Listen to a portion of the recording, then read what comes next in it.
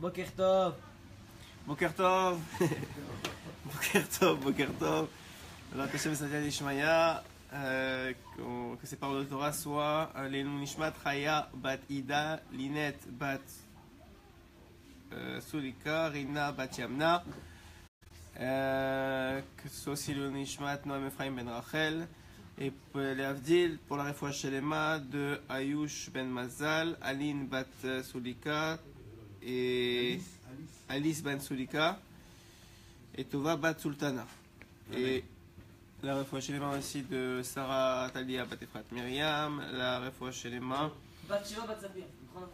Bat Sheva Bat Sapir, Shelema, Nefesh Tagouf, David Chaim Ben Noah. Et toutes les malades d'Israël, que ce soit pour la Sacha, on pense à une Sacha de particulière de, de Rivka Bat Esther et euh, de euh, Masouda. Voilà. Hashem, on peut commencer le shiur. On va faire un shiur qui correspond au parashiot qu'on est en train de vivre. Comme je vous l'ai dit déjà plusieurs fois, toute la raison pour laquelle on est parti en Égypte, il y en a plusieurs évidemment. Euh, mais euh, une, des, une des grandes raisons pour lesquelles on est, on est rentré en Égypte et on est enfin sorti d'Égypte la semaine dernière, qu'on va maintenant recevoir la Torah avec Brachat Yitro, et qu'on est, euh, et est encore en vie aujourd'hui en tant que peuple juif, et qu'on est encore, on tient encore à avoir une terre et on se bat pour euh, faire les mitzvot, la Torah, et on essaye de se rapprocher de plus en plus d'Akadosh Baruch malgré euh, tout ce qui nous en éloigne dans le monde quotidien, dans le monde goy c'est que Hachem a inculqué, instauré en nous, entre chacun de nous, dans notre patrimoine génétique spirituel, la Emouna, la foi. Et euh, évidemment, on a déjà beaucoup parlé, tout le, tout le principe des douze Makot, c'était justement d'instaurer la foi dans le peuple d'Israël. Tout le principe de la sortie d'Égypte et, des miracles de la de l'ouverture de la mer Rouge, c'est pour instaurer un, niveau de foi encore plus élevé dans le peuple d'Israël. Et euh, excusez-moi. Euh, et évidemment, maintenant qu'on va arriver dans le désert avec euh, la manne d'un côté, encore une fois pour nous rappeler que jusqu'à aujourd'hui, la parnassa ne dépend pas de, l'homme, ne dépend pas de celui qui va aller travailler, ni combien il va travailler. Sachez que le travail c'est un tikkun, c'est une malédiction euh, qui a été donnée à euh, Adam Arishon après la faute et que ça n'a rien à voir, malgré tous ceux qui veulent croire que ça a à voir, ça n'a rien à voir avec la parnassa que vous recevez chaque année. Le tikkun, c'est un tikkun, il faut le faire. Personne n'a dit le contraire, il faut cacher le miracle, mais, euh, mais la manne, c'est que euh, ça fonctionne exactement, malheureusement, encore aujourd'hui, comme ça l'était il y a 3000 ans. C'est-à-dire que pour le tzaddik, il lui arrive jusqu'à la porte, pour le moins tzaddik, eh ben, il faut qu'il aille chercher un peu plus, et pour euh, celui qui a le moins, vraiment, vraiment, vraiment moins de tzaddik, eh ben, on va pas dire achat, mais le moins, moins de tzaddik, eh ben, il faut, il faut qu'il bouge, quoi. Il faut qu'il aille loin. Mais, euh, mais ça veut dire quoi? À, quel niveau? Parce qu'on peut être sadique dans plusieurs niveaux. C'est-à-dire qu'on peut pas. Tout le monde n'est pas de sadique gamour. quoi. Tout le monde n'est pas euh, Baba Salé ou Rabbi Nachman. Qu'est-ce que ça veut dire ce niveau de tzidkout Eh ben, Le Rabbeinu nous explique le niveau de tzidkout par rapport à la parnassa. C'est un niveau de tzidkout de Emouna. C'est-à-dire, plus, plus tu as de la Emouna, plus tu es appelé tzaddik. C'est la raison pour laquelle, on a vu dans la la semaine dernière, Datan et Aviran, qui eux savaient très bien qu'ils allaient devoir euh, voyager beaucoup pour pouvoir récupérer la manne, ont décidé de tromper tout le monde. Ils ont dit, bon, si c'est comme ça, on va, on va devoir aller jusqu'à euh, euh, tous, les, tous les jours loin, et en plus c'est honteux, c'est-à-dire tout le monde voit que, ta manne n'est pas devant ta porte. Donc c'est, tout le monde sait que, quel est ton niveau. Donc ils ont dit, c'est pas possible, on va pas faire ça, on, va, on, va, on va essayer de casser le système. Et donc qu'est-ce qu'ils ont fait? Ils ont, le, jour du Shabbat, alors qu'Hachem a dit que ça n'allait pas descendre, ils ont pris leur propre part, ils sont enlevés de leur propre nourriture pour, faire semblant que c'était, tombé devant chacun des, euh, des, des juifs. Et bah, au Hachem, Hachem a fait un miracle que les oiseaux, ce Shabbat-là, ce Shabbat Shira-là, les oiseaux ont- ont- sont descendus pour aller picorer, euh, pour aller euh, ramasser et manger toutes les, tout ce qu'ils avaient laissé devant les portes des juifs. Et quand les juifs se sont levés, ils ont, pas, ils ont vu qu'il n'y avait pas de manne. C'est une des raisons pour lesquelles, encore aujourd'hui, par Akaratatov, les juifs, le, Shabbat Shira, laissent le, reste du pain du Shabbat, ou même pendant le Shabbat, selon certains, euh, devant leur porte. Tout ça pour dire que euh, le Rabbeinu dit dans, dans l'écouté Moharan Zain que la raison pour laquelle on est encore en galoute, c'est-à-dire qu'on n'a pas encore euh, eu le mérite de voir Mashiach, qu'on n'a pas encore eu le mérite que tout le monde monte en Israël, on n'a pas encore eu le mérite de, de, pouvoir étudier la Torah toute la journée sans avoir besoin de s'occuper de la Parnassa, tout ce que représente la, la, la, c'est parce qu'on a tous, à, cha- à chacun à notre niveau, un Chesron et Mouna, un manque de foi. Un manque de foi à Kadosh Baruch. Alors c'est pas. C'est un peu dur à dire comme ça, mais ça veut dire c'est- tous, on est à un certain niveau dans, ce, dans cet esprit-là. Et euh, il va, il va dévoiler quelques aspects qui vont permettre à l'homme de se rapprocher, et même quelques conseils et, et euh, quelques ségoulottes, comme les gens ils aiment bien, ce qu'on appelle le Sefer Amidot, euh, qu'il a écrit à l'âge de 6 ans. Il a écrit, euh, il avait déjà tout fini la Torah à l'âge de 6 ans, certains pensent 9, mais la plupart, des opinions disent que c'est 6 ans. Et il avait écrit toute la Torah, il a pris toutes les ségoulottes qui sont marquées dans toute la Torah sur les sujets différents. Alors il a compilé sur celui de la foi, on va voir qu'est-ce que ça prend pour avoir de la foi. Au niveau pratico-pratique, au niveau euh, plus moussard, il faut évidemment beaucoup travailler sur, euh, le, fait de, prendre conscience de tout ce que nous donne, euh, d'être capable de remercier à chaque fois qu'on a quelque chose, même les petites choses pour être capable d'avoir de, plus en plus de Emouna dans ce qu'il nous donne, de faire des, Rabbi nous dit de faire des, de, de challenger un peu Hachem, c'est-à-dire de lui demander des choses qui sont conscients, qu'on a, conscience qu'il est capable de faire, et quand il va les faire, on est capable de demander plus. Sachez qu'un homme, il peut pas demander du jour au lendemain, euh, une, euh, une, une maison sans mashkanta, sans, sans hypothèque, sans rien. Hachem, donne-moi une maison. Pourquoi Pas parce qu'il ne peut pas l'avoir, pas parce qu'Hachem ne peut pas lui donner. Rabbeinu il dit parce qu'il n'y croit pas. Il ne croit pas qu'Hachem peut lui donner. Une maison sans travailler, sans argent, sans rien, juste elle tombe du ciel, il n'y croit pas. Mais s'il y croyait, vraiment, alors il prierait pour et il s'arrêterait pas de prier. Comme quelqu'un qui veut monter en Israël. Il y en a beaucoup qui vous disent, j'étais aussi dans ce cas-là, il y en a beaucoup qui vous disent ouais je veux monter, je veux monter, je veux monter, ouais je veux monter, écoute, mais c'est compliqué, c'est pas, pas évident, et puis on me raconte des histoires et c'est pas toujours facile, et c'est vrai que c'est pas toujours facile, et on n'est pas là pour, euh, pour euh, vendre euh, on est du savon, on est, euh, c'est-à-dire que c'est vrai, mais il y a, y a un niveau comme ça de, bon, on sait pas, on sait pas où est-ce qu'on s'en va, et c'est pas tellement facile, alors effectivement, tout ça c'est vrai, mais ce que Rabbeinu dit, il dit que, ok, disons que c'est pas facile et disons que mais tu dis que tu veux. Ouais je veux je veux monter. Alors moi j'ai une question pour toi dit Rabbeinu. Rabbi Nathan il pose, la, pose la question pour Rabbeinu mais c'est le principal élève de Rabbeinu donc il, pose la question. Il dit dis-moi dans tes filotes est-ce qu'il y a toujours la mention de Eretz est-ce que toujours tu demandes pour Eretz Israël? C'est-à-dire est-ce que toujours dans le schéma Koleno que tu as est-ce qu'à chaque fois tu dis Hachem je t'en supplie fais-moi monter. Hachem facilite-moi la tâche. Hachem montre-moi que le bien. Hachem s'il te plaît je veux monter ou est-ce que ça dure euh, le temps que tu reviens des vacances d'Israël et que effectivement tu es dans cette euh, euphorie-là, qu'effectivement il faut venir vivre parce que tout le monde y vit et puis ça va bien? Ou parce que, et puis ça dure euh, deux semaines, trois semaines, ensuite de ça, tu le retrouves au début trois fois par jour dans la tefila, ensuite de ça deux fois par jour, ensuite de ça plus du tout, etc. etc. Donc effectivement Rabbi Nathan il dit que, que normalement quand quelqu'un il veut quelque chose, en particulier dans la Rouchaniout, qu'on sait que Hachem il veut qu'on grandisse au Rouchaniout. Hachem il veut tous qu'on vive en Israël, ouais. Alors pourquoi on vit tous pas il dit parce qu'on veut pas assez. On n'en veut pas assez. Alors c'est pas c'est pas un, un jugement, on était tous là, on était même pour certains encore encore là, même si on vit en Israël. Mais ça veut dire que il y a, y, y, y a- un travail à faire. Le travail il est simple. Si tu veux monter en Rouchanio, tu diras Nachman, il faut il faut, faut vouloir. Si comment tu sais que tu veux, c'est quand ta tefila elle tient. Quand tu ne lâches pas ta tefila et tu, et, tu, et tu es capable de comprendre que oui, c'est vrai c'est difficile, mais Hachem il est capable de faire tout pour le bien. Il y a des gens aussi, et je vous le dis, j'en suis témoin, qui sont montés ici, et ça va beaucoup mieux qu'en Rousselare pour eux. Beaucoup mieux. Il y en a, mais sauf que eux, ils parlent pas. Eux, ils, se- cachent, ils ont perdu mais, euh, mais pour ceux qui c'est un peu plus difficile ou qui voient la vie un peu moins, facilement, alors, alors effectivement, on les entend plus. Mais il faut, il faut croire, il faut avoir confiance, mais surtout, il faut beaucoup, beaucoup prier. Et une fois qu'on a beaucoup, beaucoup prié, c'est pas suffisant.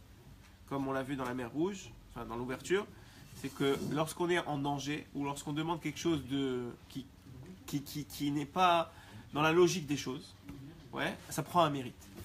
Ça prend un mérite.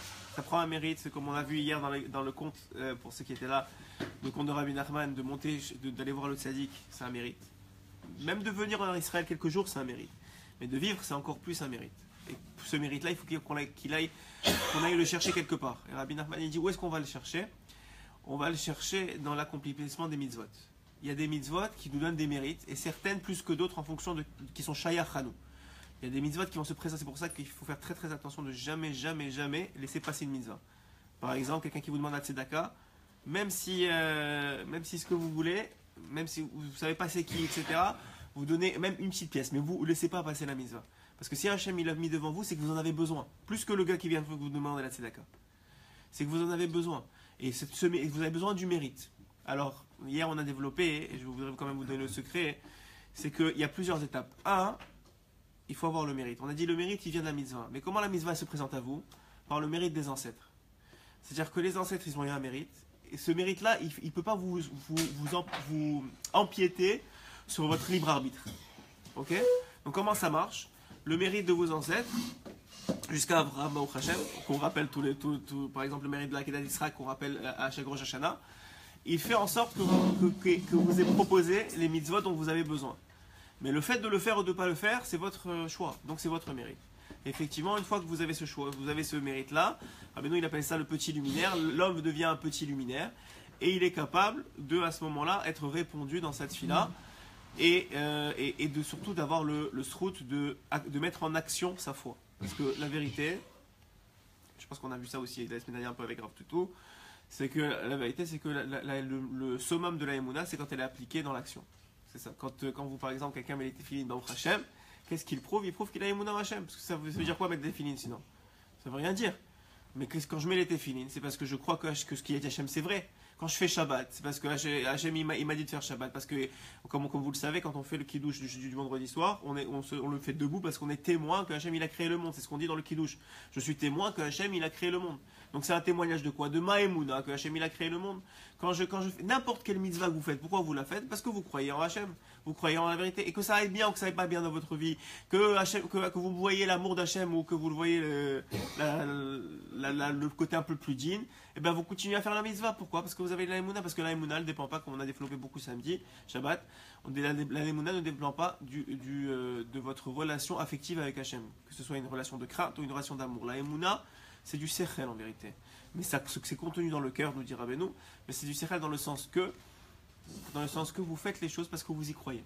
Vous croyez en Hachem. À partir du moment où vous croyez, on fait naasé vénichement. D'abord, je, fais, après, je comprendrai. Et en vérité, c'est ça le secret. Le secret, c'est que vous ne pourrez jamais comprendre tant que vous n'avez pas fait. Parce que même si vous avez de la émouna, tant que vous n'avez pas fait l'action, Hachem ne vous dévoilera jamais le, sens profond de l'action. C'est le principe de tout, de tout Venishma. C'est le principe du Venishma. Je ferai, je comprendrai. Que ça veut dire?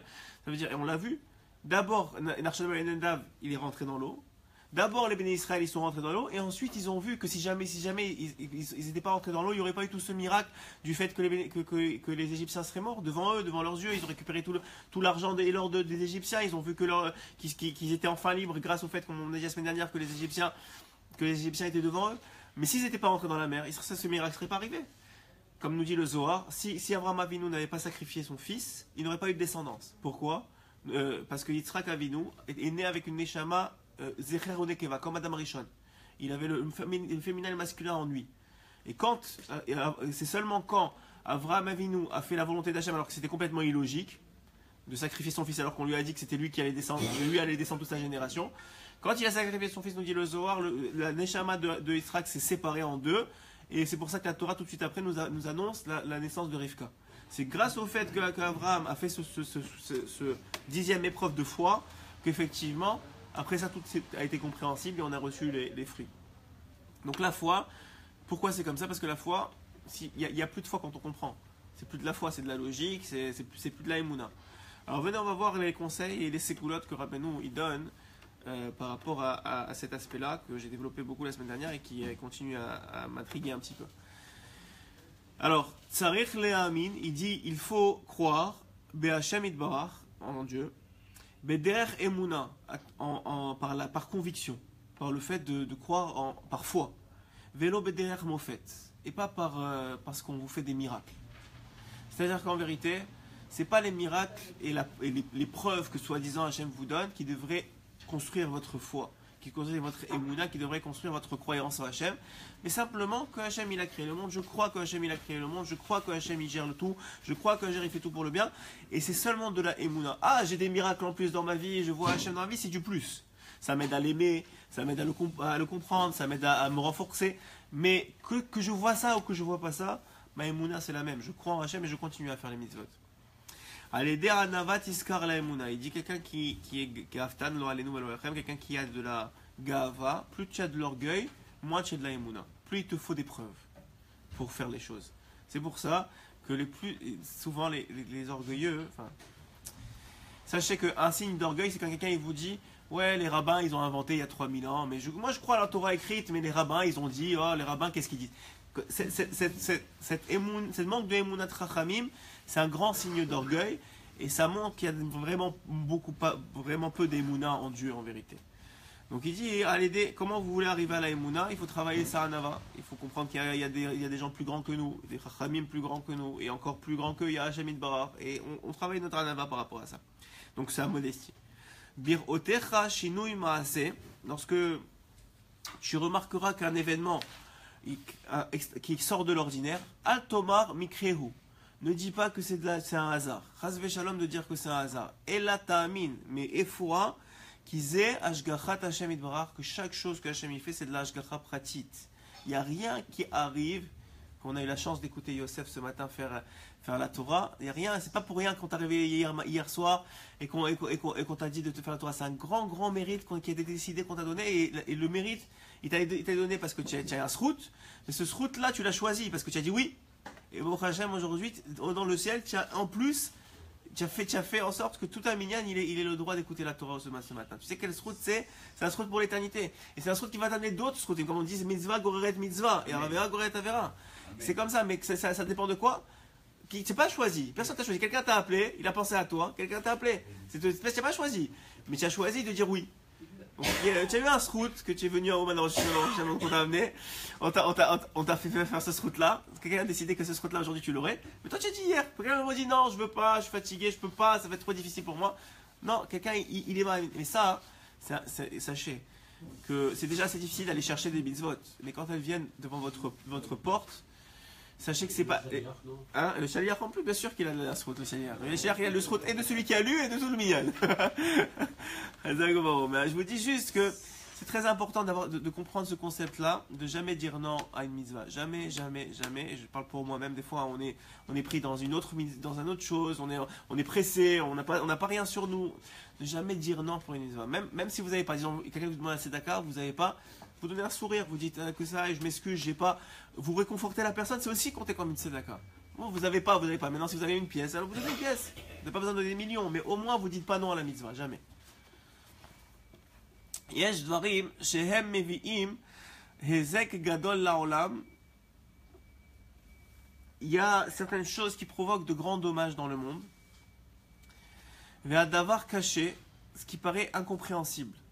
Ça veut dire qu'il y a des gens que, comme on a dit, euh, tzaddik veralo, comme c'est écrit dans la Gemara, le tzaddik, il lui arrive des choses qui sont pas normales, ou, on voit des gens bien, qui, qui il arrive des choses qu'on qu'on comprend pas, ou des choses dans le monde qu'on- qui sont pas logiques.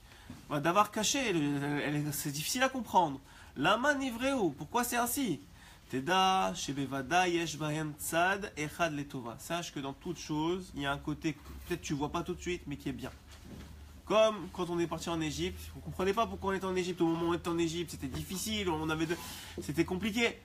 Mais quand on voit après, quand on est sorti d'Égypte, quand on a vu qu'on a reçu la Torah, que jamais on n'aurait pu recevoir la Torah si ce n'est qu'en passant par l'Égypte, on jamais on aurait pu se construire en Emouna, jamais on aurait pu tenir jusqu'à aujourd'hui si on n'était pas passé par l'Égypte. Jamais le niveau de Emouna que nous, il nous reste un petit peu, il vient du fait qu'ils ont tellement travaillé, ils ont tellement souffert en Égypte. Et ça, c'est la vérité dans chaque chose. Tu vois des gens qui n'ont pas d'enfants pendant des années. Comme je vous ai raconté déjà, plusieurs fois, il y a un, un ami à moi proche que pendant 10 ans, il n'a pas attendu d'enfant. Il a entendu un enfant, il était à sa dixième année. Et Baruch Hashem, il avait un tzaddik derrière lui qui tous les ans lui disait ça va arriver, ça va arriver, ça va arriver. Même l'année même, le, le Rosh de cette année-là, à Ouman, il lui a dit cette année, c'est fini. Ton, ton, tsar, il est terminé. Tu vas avoir un enfant. Effectivement, il a un garçon. Baruch Hashem, c'était l'année dernière, enfin, cette année, quoi, avant Rosh Hashanah. Et, euh, mais ces 10 ans-là, il faut tenir. Il faut tenir quand, quand, t'as- quand, quand là, surtout la femme, qui, qui, qui- il faut la soutenir et la tenir. Et, mais je voulais parler aujourd'hui. Jamais au monde j'aurais voulu avoir un enfant avant- lui. Parce que je me suis tellement construit, j'ai tellement prié pour cet enfant-là. Comme il a dit Hannah, Hannah quand elle a eu son enfant, elle, elle, elle, et que il est parti de, il est, il est parti de ce monde, elle est partie voir, euh, elle est partie voir euh, Elisha. C'était Elisha. C'était Elisha? Elisha? Non, c'était le prophète Élie, c'était pas Elisha. Je me rappelle plus. Non, c'est Elisha. Elisha est parti voir Elisha, lui a dit tu, tu m'as dit tu vas, je vais avoir un enfant, tu m'as donné un enfant et euh, euh, et, et maintenant il est plus là. C'est pas- pas normal. C'est Elisha. hein.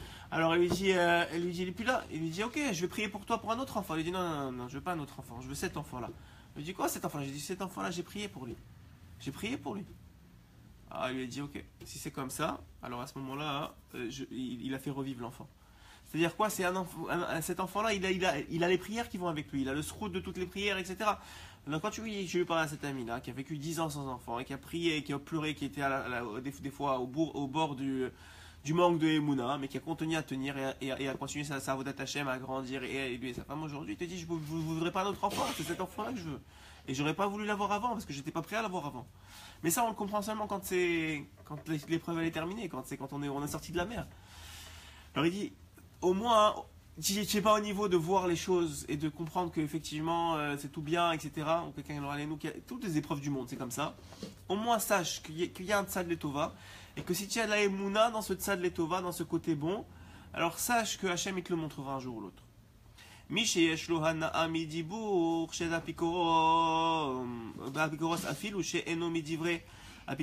L'individu qui prendra plaisir à un discours de, de quelqu'un qui est apicoros.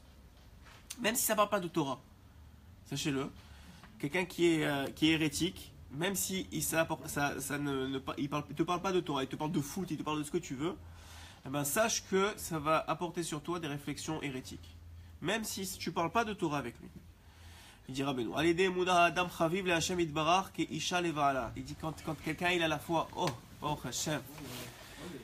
Euh, quand quelqu'un hein, il a, il a de la foi, Yeshlo Emuna, quand il a de la foi, Mina Shamayim Ravneria. Euh, Bata, Shma, Alidé Emuna Adam Chaviv le Hashem Idbarar ke Isha Levala.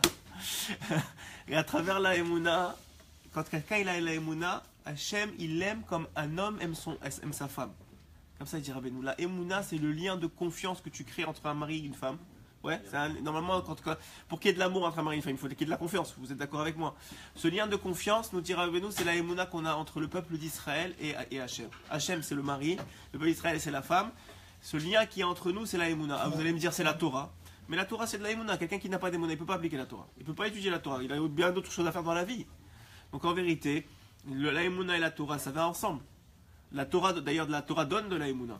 Ouais, quand vous, quand vous, quand vous étudiez la Torah, vous voyez tout ce que les, les tzadikim, ils, étaient capables de faire, quand- combien ils connaissaient tout le monde entier. Quand vous lisez dans la Torah, par exemple, que moi, ça m'a toujours, euh, un exemple que je reprends parce que ça m'avait, touché, enfin, ça m'avait marqué, c'est écrit dans la Torah que, dans un Gemara qui a été, qui a été écrit à peu près à 2000 et quelques années, et euh, c'est écrit dans la Gemara que, il y a un rab qui dit que dans toutes la- les mers, ouais, dans toutes les mers, si jamais un poisson tu trouves un poisson qui a des écailles, alors il a forcément des nageoires. Mais, s'il a, mais, l'inverse n'est pas vrai. En tout cas, il dit ça. D'où il sait ça? Il n'est jamais quitté son, son, son, bled, son patelin. Il n'est jamais sorti, il n'est jamais, jamais allé en mer. Comment il sait des choses comme ça? Parce que la Torah, c'est divin. Alors quand tu vois que c'est divin, que c'est le créateur du monde qui te la donne, et il y a plein d'exemples comme ça dans la Torah. Pour ceux qui sont... euh, un jour, on étudie un, Rachid dans ma Seret Makot, il me semble. Et, euh, et là-bas, c'est écrit comment, c'est écrit des, techniques de dentiste, c'est-à-dire comment soulager les douleurs dentaires. Il t'explique comment la dent elle marche. Mais comment il sait des choses comme ça? C'est pas, il n'est pas dentiste le gars, il a jamais appris. Mais non, parce que ce qui, ce qui il a reçu, il a reçu de Moshe Missina, et qu'il a reçu d'Hachem lui-même.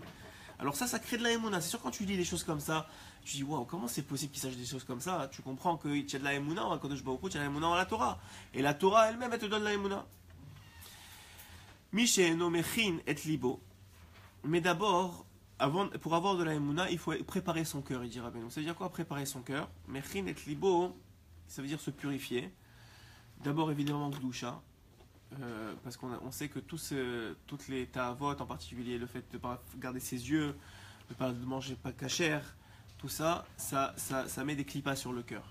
Tout ce qui est les entrées, les yeux, les oreilles, le nez, la bouche, tout ce qui est les entrées du, visage, c'est une Torah dans, dans l'écouté moral, sont des, sont des façons que le, le, le, le extérieur à toi, parce qu'il y a un, intérieur, il y a un intérieur qui est dans le cœur, mais il y a aussi un extérieur extérieur. Tous les extérieurs extérieurs est capable de rentrer et se placer sur ton cœur.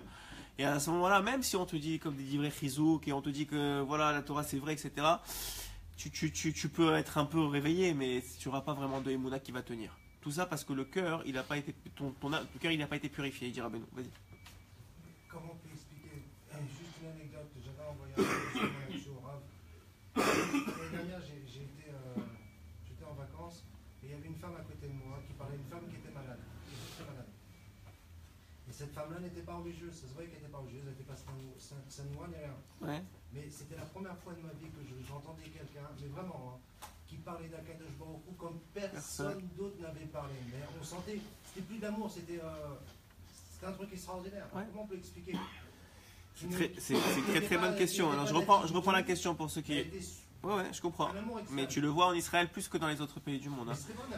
Moi, je sais, mais je vous dis, tu le vois pas particulièrement en Israël. C'est-à-dire qu'il y a des gens qui te disent, mais moi j'ai la foi, moi je crois en Hachem, et ils ont que Hachem dans la bouche.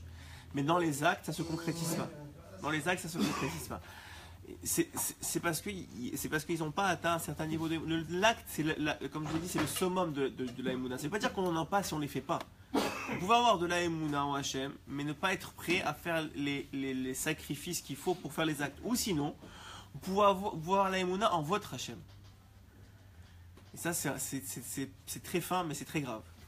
C'est-à-dire que vous avez une vision d'Hachem qui n'est pas la vraie, qui est celle que vous êtes imaginée dans votre tête. Vous avez créé un Hachem pour vous, qui est probablement un peu vrai, parce qu'Hachem il est toujours là, il vous aime, c'est vrai tout ça. Vous avez créé un, un qui est à votre image, un peu le Hachem que vous voulez. Donc finalement, c'est un Hachem qui n'est pas contraignant, c'est-à-dire il vous demande rien. Vous juste euh, sois comme tu es. Et, ça, c'est un niveau de Emouna.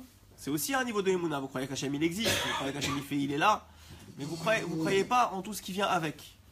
Et c'est un niveau, c'est un Chesron Emouna. C'est un Chesron Emouna, même si ça paraît très bien. Mais en- inversement, hein, quelqu'un il peut faire les actes, mais ne, pas avoir le minimum de la Emouna. C'est-à-dire il fait les actes par habitude. Ce qu'on rapportait hier dans, dans, dans, dans, dans le, shiur, c'est qu'un homme, un homme, quand il fait la Torah sans cœur, il peut pas avoir des mounas. La mouna, c'est dans le cœur. Ça veut pas dire que ça prend des sentiments. Il faut faire le diouk. Mais c'est dans le cœur, dans le sens que il fait, les choses par habitude. On lui a appris comme ça, il fait comme ça. Mais il, il réfléchit même plus pourquoi il les fait. Donc il n'a pas de mouna. Il le fait pas parce que Hachem lui a demandé. Il le fait pas parce que il veut Hachem dans sa vie. Il le fait pas parce qu'il croit en Hachem Birtal. Il le fait parce qu'il faut le faire, parce qu'il y a le regard des autres, parce qu'on lui a appris comme ça. Il y a plein de raisons pourquoi on fait les choses. Mais ça veut pas dire qu'on les fait par main. Donc les deux sont vrais. Il y a quelqu'un qui peut ne pas faire et avoir de la Emouna en Hachem, mais en Hachem qui n'est pas complet, qui n'est pas, qui n'est pas Shalem, ou qui n'a pas, ou qui n'a pas. C'est différent de dire que je, je sais que c'est vrai, mais j'ai pas la force de le faire. Ça c'est complètement différent. Ça c'est presque la meilleure des choses. C'est-à-dire, euh, je sais que euh, il faut vivre en Israël, mais j'ai pas encore la force de le faire. Ça au moins tu as une chance d'y arriver. Mais quelqu'un qui te dit mais non mais de toute façon euh, ça ça vaut pas c'est pas vrai euh, j'ai pas besoin euh, c'est la mention des chachamim ça c'est une, une émouna qu'on appelle une émouna en, son dieu à lui. Il s'est créé un dieu. Ouais. Et ça c'est très grave. Parce que pourquoi c'est très grave? Parce que c'est très difficile de faire tchouva sur ça. C'est très difficile de revenir de ça.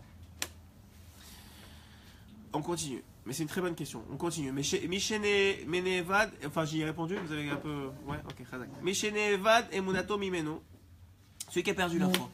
Il a eu des épreuves dans la vie, il avait la foi, mais il l'a perdu. Qu'est-ce qu'il fera? Yeler El Kivre Israël. Il ira dans les- sur la tombe des tzadikim.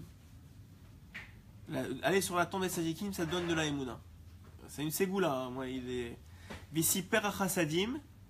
Et il racontera les bienfaits devant les tzadikim. Il, il racontera au tzadik qui est, qui est enterré là-bas tous les bienfaits qu'Hachem a fait avec lui. Hachem m'a donné des enfants. Hachem il m'a sauvé de la maladie. Oui, Hachem il m'a donné jusqu'à aujourd'hui à venir chez toi. Hachem m'a amené en Israël. Hachem- ce que vous voulez. Il dira au tzadik, au tzadik les, tout ce qui lui est arrivé de bien dans sa vie. Donc Hachem il a fait de bien. Et quand il fera ça, il grande, sa émouna elle reviendra.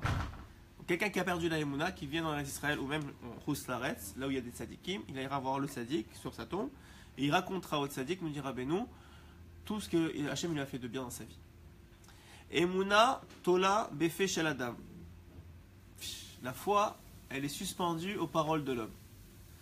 Ça veut dire qu'un homme, comme on a vu avec, euh, avec Yosef, qui est le meilleur exemple, comment est-ce que Potiphar il savait que Yosef, il, euh, c'était un homme bien, un homme juste, et aussi qu'il réussissait, comme d'où il avait sa réussite, il y avait Hachem Befiv.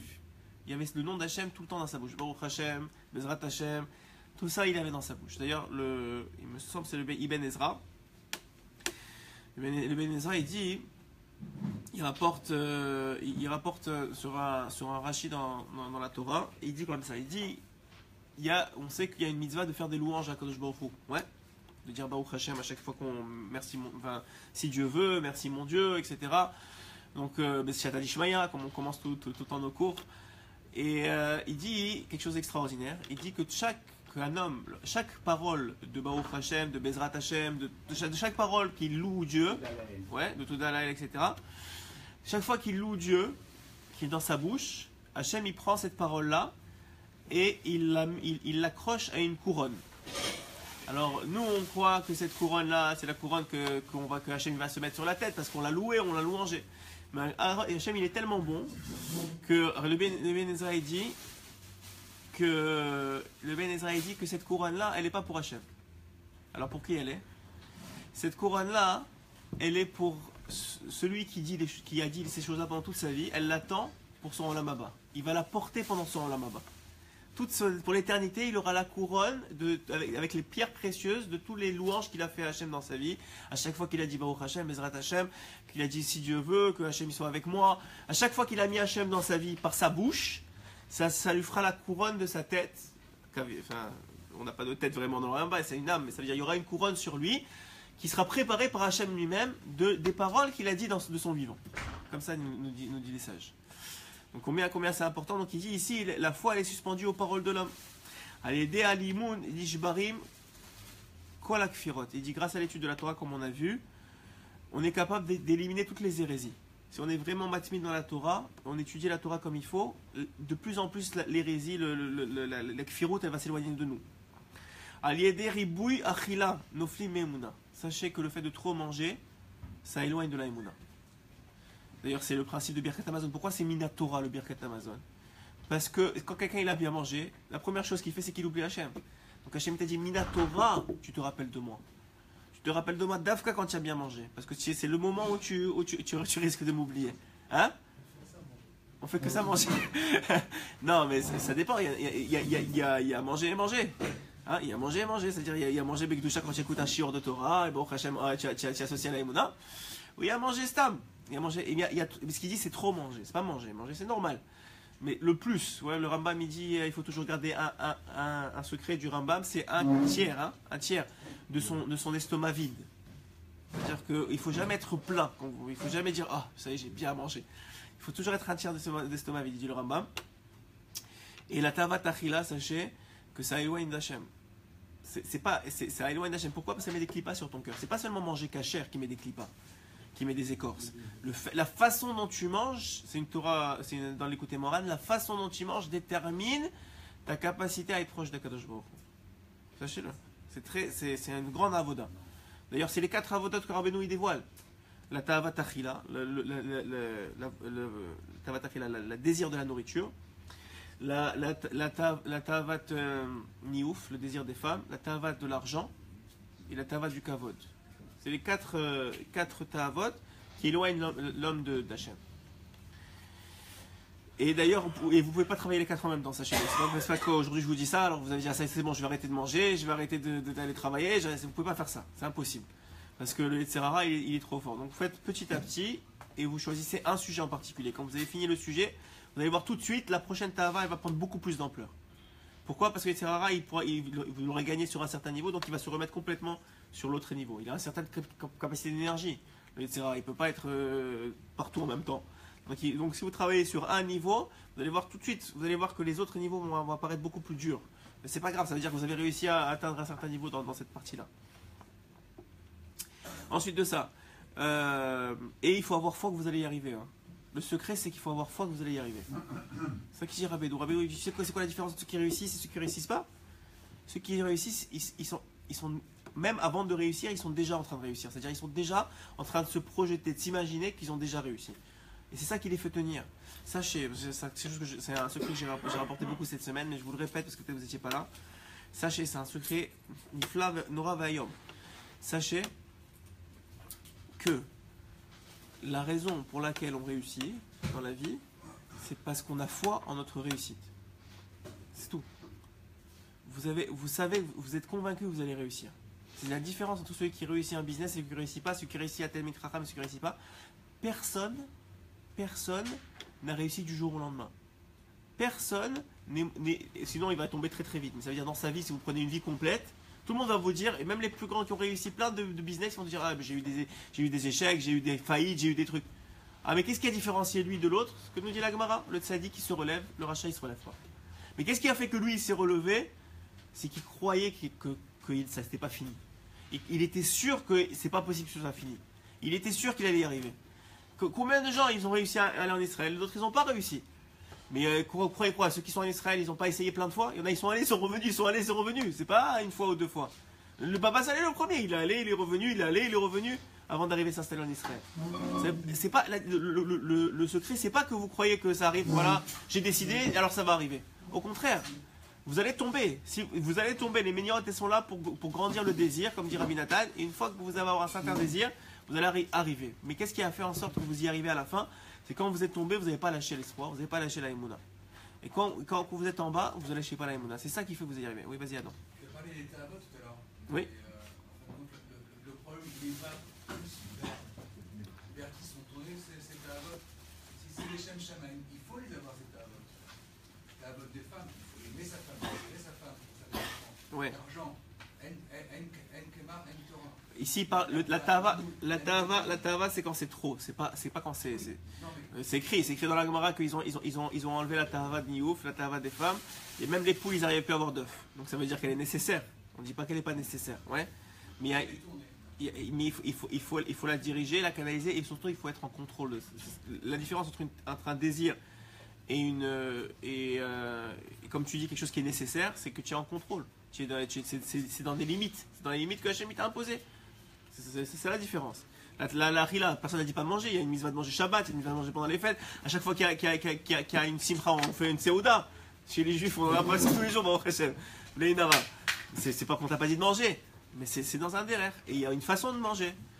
Ça, je parle pour, pour tout le monde. Pas tout le monde est dans les mêmes dans les mêmes tables, surtout dans la génération. Donc les, ils, arri- ils arrivent, donc on va on va finir bientôt.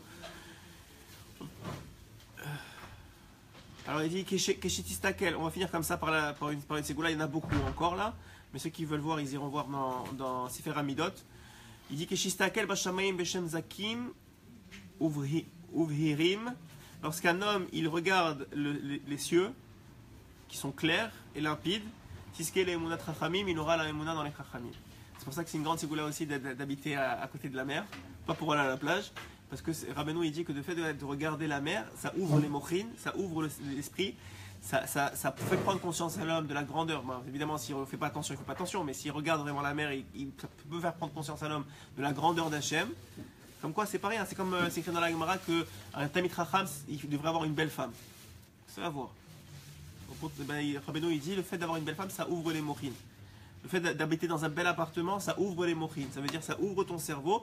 Ça te permet d'avoir plus de facilité à remercier Hachem, plus de facilité à avoir la grandeur d'Hachem. Et en étant capable de faire ça, tu es capable de plus te concentrer dans la Torah et de plus te comprendre. Parce que les mochines, c'est eux qui reçoivent la Torah.